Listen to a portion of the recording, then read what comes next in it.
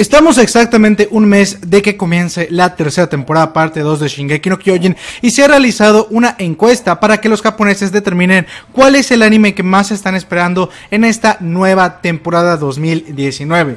Y claramente Shingeki no Kyojin ha arrasado en todas las encuestas hechas en Japón, quedando en primer lugar votados por hombres y mujeres japonesas, los cuales ya están a la espera en este próximo mes de que comience esta nueva temporada de Shingeki no Kyojin.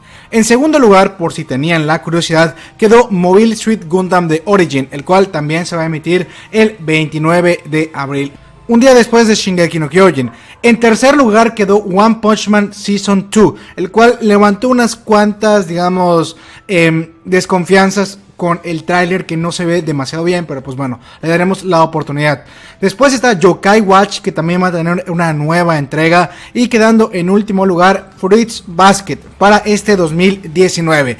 Pasando a otras noticias, se ha publicado que el día 9 de abril, es decir, cuando se publique el volumen 28 de Shingeki no Kyojin, vendrá una nueva historia guía, es decir, una nueva guía de Shingeki no Kyojin, la cual va a abarcar toda la información de los personajes presentados desde el volumen 1 hasta el volumen 22, es decir, que no va a abarcar lo del arco de Marley. Pero sin duda esta guía está más hecha para aquellos seguidores del anime, los cuales seguramente van a quedar muy hypeados después de que termine esta nueva entrega de la serie. Sin duda un gran libro y claramente no va a tener muchos spoilers ya que esas guías no suelen tener demasiadas cosas, pero sí digamos información en chusca o que el autor este, deja información medio importante o pistas. Pero bueno, para aquellos que la quieran pedir por Amazon, el día 9 de abril va a estar publicándose.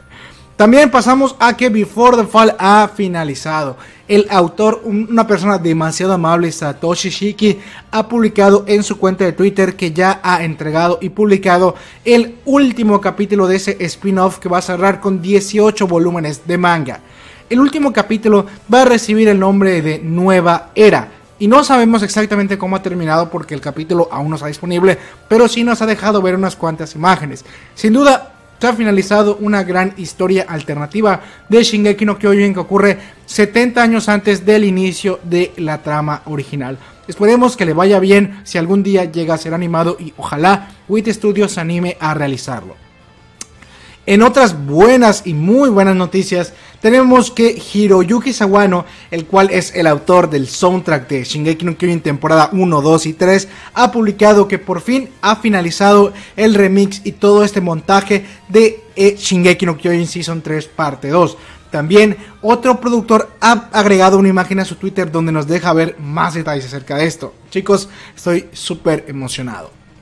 Pasando a las noticias del videojuego, se han publicado estas nuevas imágenes donde podemos ver a Folch y también podemos ver a Zeke, los cuales van a ser personajes jugables en este nuevo DLC extensión que va a estar disponible a partir de julio. Si tú tienes el videojuego Attack on Titan 2, pues bueno, únicamente sería que se pague por este DLC. Aún no se ha publicado el precio exacto, pero estaría rondando unos 40 dólares según lo que tengo visto por ahí. Literalmente es un poquito menos que pagar por un juego nuevo, pero sigue siendo un precio medio elevado. Sin duda yo creo que valdrá la pena porque son dos arcos argumentales y bueno, para julio ya va a estar disponible y muchos me han preguntado este, que si puedo hacer gameplays y tal. Pues bueno, chicos, si les gustaría, déjenlo en la caja de comentarios si les gustaría verme comentando este juego. Lo tengo para PlayStation 4.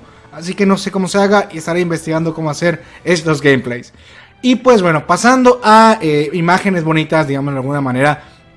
En esta sección tenemos a el protagonismo de Shingeki no Kyojin con una colaboración con Tokyo Gears, una marca de ropa que también ya ha trabajado con nuestros queridos amigos de Shingeki no Kyojin, ya que han publicado en 2017 una nueva línea de ropa, pues utilizando de publicidad a nuestros personajes Erwin, Armin, Eren, Mikasa y Levi. Claramente estas ropas están más eh, enfocadas en el ámbito femenino, pero también pueden ser medio andróginas, así que pues bueno, son ropas muy bonitas. Y hasta aquí llegamos con toda la información disponible esta semana a un mes de Shingeki no Kyojin. Ya están contando los días porque yo sí.